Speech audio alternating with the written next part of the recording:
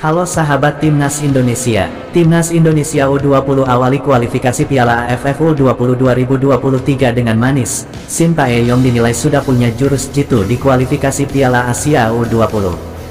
Namun sebelum lanjut ke pembahasan, mohon kiranya subscribe, like dan share channel ini, agar admin lebih semangat untuk kembangkan channel ini dan agar kalian tidak ketinggalan informasi menarik seputar Timnas Indonesia setiap hari. Ex-asisten pelatih Timnas Indonesia U19 dan U23, Rohmat Setiawan, mengomentari penampilan Timnas Indonesia U20 di laga perdana kualifikasi Piala AFF U20 2023. Sukses meraih kemenangan telak atas Timnas Timor Leste U20, Rohmat Setiawan pun menilai bahwa pelatih Timnas Indonesia U20, Shin Tae-yong, sudah belajar dari kesalahan di Piala AFF U19 2022.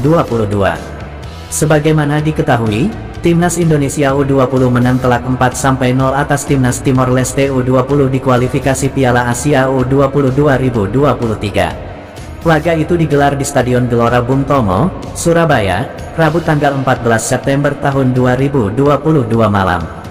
Di ajang tersebut, Ronaldo Kote DKK dituntut untuk memperbaiki diri usai gagal di Piala AFF U19 2022. Diketahui, di ajang Piala AFF U19 2022, perjalanan Garuda Nusantara harus terhenti di babak penyisihan grup.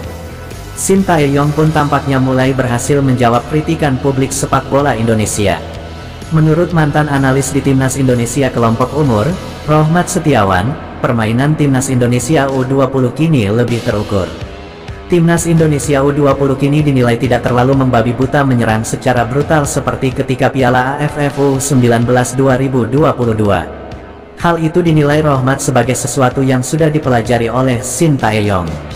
Pendekatan STY kali ini jauh berbeda dari AFF lalu, sekarang mainnya lebih terukur daripada sporadis ngejar gol, sepertinya yang kali ini lebih baik, kata Rohmat melalui Twitter pribadinya, Kamis, tanggal 15 September tahun 2022. Menurut Rohmat, bermain ofensif selama 90 menit akan berakibat fatal, apalagi jarak jeda antar pertandingan hanya dua hari. Itu sebabnya, Shin Tae-yong harus cermat mengelola stamina pemain.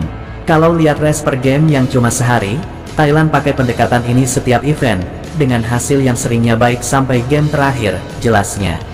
Selanjutnya, Timnas Indonesia U20 akan bersua Timnas Hong Kong U20 pada Jumat tanggal 16 September tahun 2022. Laga itu akan digelar di Stadion Gelora Bung Tomo, Surabaya. Bagaimana pendapat kalian?